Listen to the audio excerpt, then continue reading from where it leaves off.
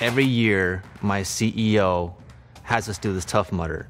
In the corporate environment, it's just a bunch of alpha males trying to puff up their chests, trying to like show off. Dude, some of the guys at Tough Mudder look like they're from the movie 300. I'm like a fit guy, but there's like some areas that are really tough to gain. Uh, I'd say my triceps and my calves. I wasn't getting any good results at the gym, so I tried Emsculpt. I like gadgets. The technology made sense, so I said, let's try it. It was really powerful. You can feel every muscle contracting. So they told me it was equivalent to 20,000 reps in just one session. It was four sessions. It was legit like two hours out of my month. There's no downtime. You don't feel anything. Dude, I started smashing on guys in the Tough Mudder race. Emsculpt changed that. I'm empowered by Emsculpt.